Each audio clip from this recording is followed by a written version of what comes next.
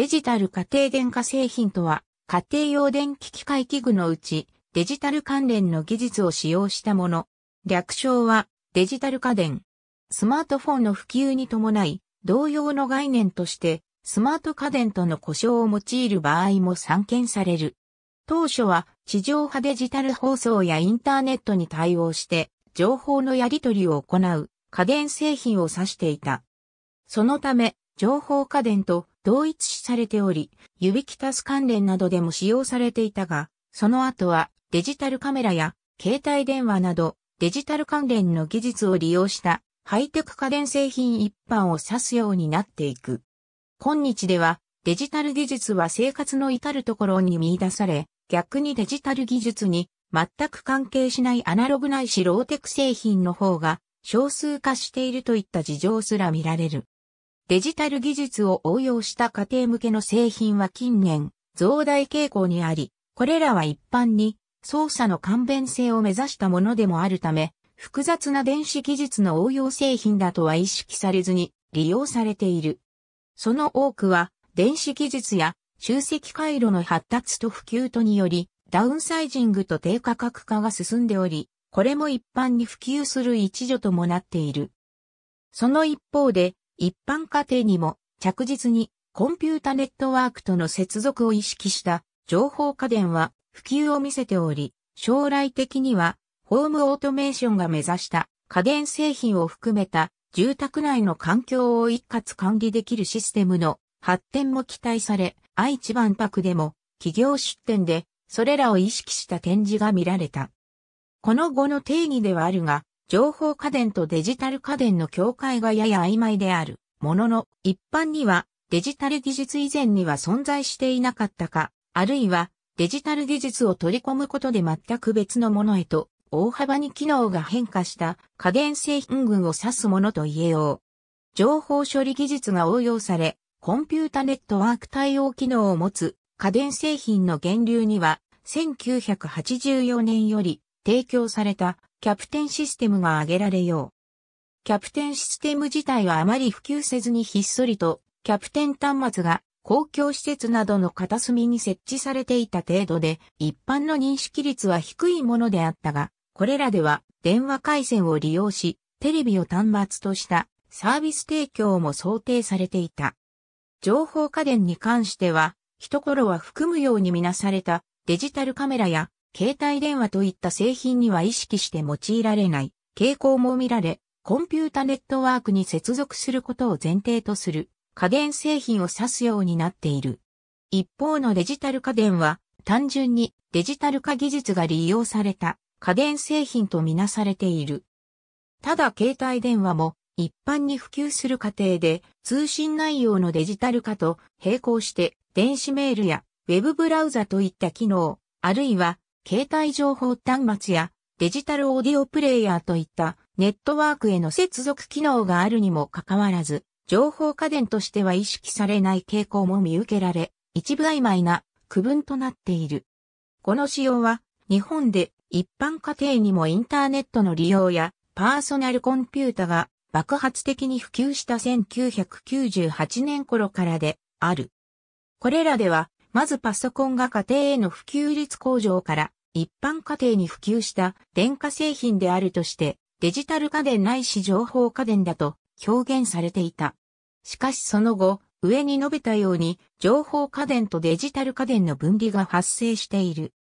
なお近年では洗濯機や炊飯器、あるいは電子レンジのような白物家電にもデジタル技術が応用された製品が主流ではあるが、これらは衣服を洗濯したり、飯を炊いたり、食品を温めたりといった基本的な機能には明確な違いがないため、あまり意識してデジタル家電だとは表現されない。だが、白物家電の中には一部安否確認機能付き、電気ポットのように情報家電化した製品も見られる。山陽電機などの家電メーカーは2000年代よりコインランドリーの洗濯機や電子レンジ、さらには冷蔵庫やレンジなどをインターネットに接続させた製品も発売しており、このあたりは情報家電として認識されている。なお同後に先行する概念として、主に娯楽に供する家電製品としての娯楽家電と呼ばれる分野がある。この中にデジタル技術や情報処理技術を応用したものも登場するようになり、これらは情報娯楽家電ないしデジタル娯楽家電と呼ばれるものが見られる。これらではデジタル化の恩恵を最も顕著に受けた分野として音響機器が挙げられよう。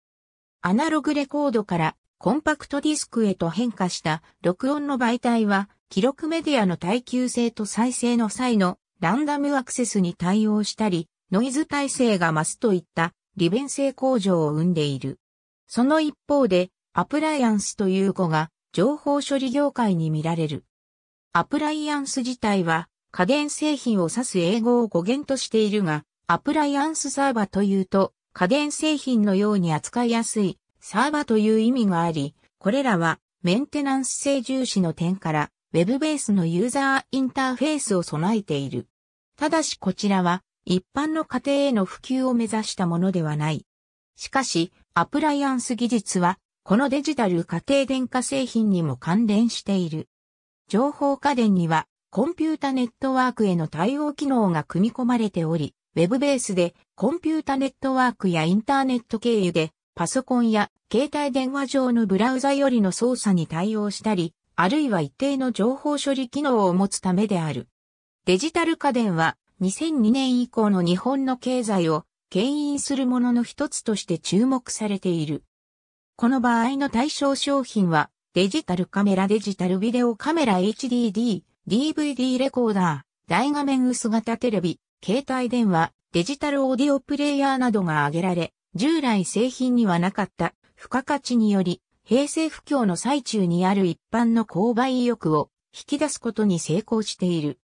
だが、これら製品は発売当初こそ、その高付加価値により高い利益率を誇っていたが、相次ぐ新規企業や海外メーカーの参入などによる価格競争に突入したことにより、競争各社は2004年頃より大幅に利益率が悪化。デジタル家電部門が赤字となることも珍しくなくなった。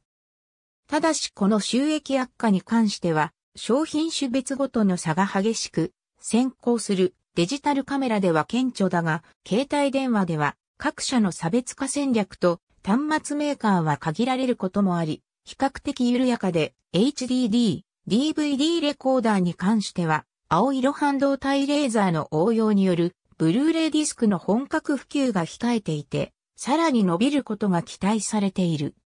販売方面では、家電量販店などの携帯でこれらの製品が依然として利益を上げており、またこれら店舗では相変わらず消費者の注目を集めており、こちらは2008年現在でも景気に好影響を与え続けている。ただその一方で、これらデジタル家電の機能がモジュール化によって簡単に実現できてしまうことから、後発メーカーや別分野メーカー、さらには日本国外メーカーから参入するハードルも低くなっており、それらの企業が提供する製品を低価格で販売することによりコモディティ化も発生、主要なメーカーの廉価版製品と競合する傾向もあり、こういったコモディティ化の進行に伴う低価格競争では十分な利益が得られず、好調な他分野、上位分野の収益を吸収してしまう場合がある。デジタル家庭電化製品は主に集積回路やハイテクを使うため、これを生産するのにレアメタルを含む資源を大量に必要としたり、あるいは製造のために多大な設備投資が求められる。このため日本で生産、消費する分にはあまり意識されないが、海外生産の際には生産設備が技術的に対応できなかったり、あるいは輸出規制の対象となったりする場合もある。これは製造された製品に関しても、同様に輸出規制対象になるものも見られ、このあたりは輸出面でのネックとなっている。また貴重な資源を使う点で、リサイクルにも様々な問題があり、これらに利用された希少資源の回収も課題となっている。これらデジタル家庭電化製品の多くでは高度化とダウンサイジングのために高密度な部品実装を行う傾向も見られるが、これが修理面で故障したら内部基板を丸ごと交換といった傾向を生んでおり、近年の循環型社会の形成の面でネックとなる傾向も見られ、壊れたら修理すると高くつくため、買い替えるという状況を生み、ゴミ問題の一端ともなっている。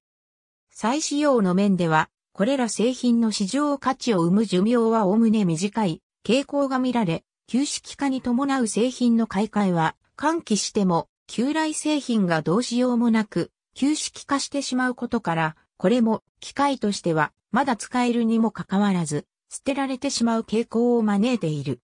ネットワークへの対応機能を持つデジタル家庭電化製品では、基本的にネットワーク側から見れば、これに接続されたコンピュータの一種である。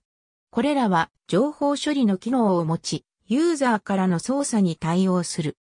しかし情報処理機能を持つということは、同時にコンピュータウイルスなどに感染する危険性もあるということであり、また、クラッキング被害を受ける危険性も発生する。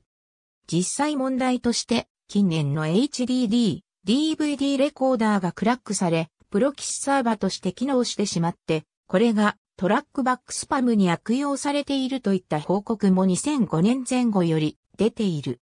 これらは本来、メーカーの想定した利用方法ではなかったにせよ、近年の不正アクセス増加は様々な方面で危惧されており、これら予防策の発展もコンピュータセキュリティ関係者を中心に期待する声が聞かれる。ありがとうございます。